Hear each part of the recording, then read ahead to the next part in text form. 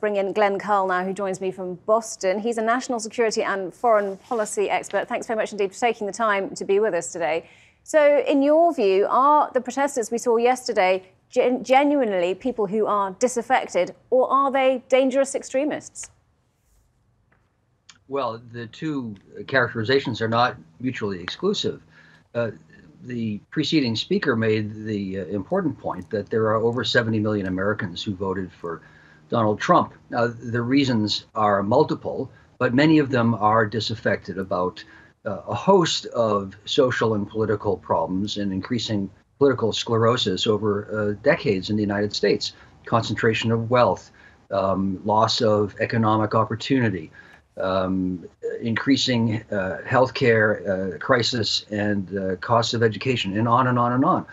Uh, but I think the largest crisis and problem for American society and our political system going forward is that the reason most of these people, or at least a large, large number, voted for Trump is because truly, this is a serious uh, observation.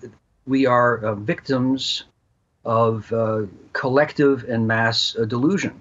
Uh, sociologists and psychologists have shown that if one repeats a lie enough, people will believe it. And even if one hears a lie and knows it is it a lie, it changes the way you perceive reality.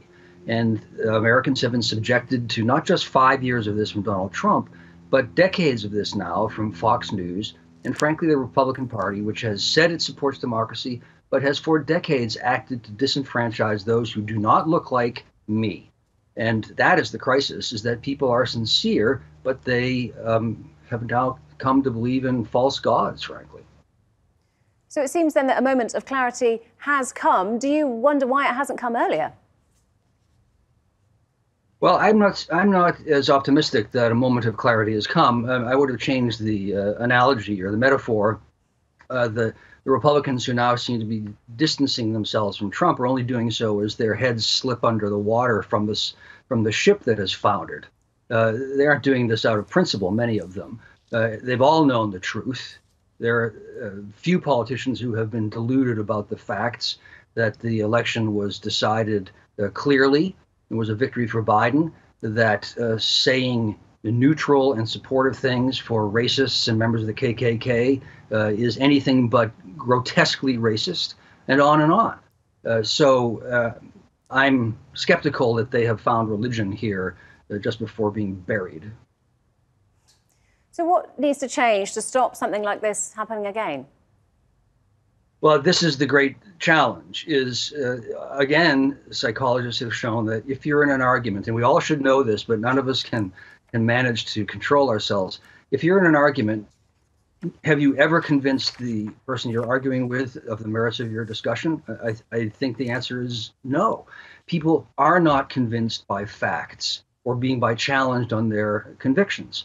So the way you address this is a slow process of changing the perceptions of what is the norm and what is uh, what are the reference points of people's thinking. So you don't say you Jane are wrong. What you say is here's how things look and that the person will then challenge that. But there are now different perceptions for people to weigh and slowly that can then change people's attitudes. This is why uh, there's an old statement when you study economics, which is that uh, economic theory progresses funeral by funeral, meaning that no one ever changes their mind. But as people die off, there are new ideas that can then be more broadly accepted by a, a less committed uh, or partisan um, follower successor. That's so Biden has a, a job, all of us do, to uh, counter, frankly, the lies and distortions of reality that Fox News and Donald Trump have made reality. Okay, Glenn Carle, really good to get your thoughts on that today. Thank you for joining us.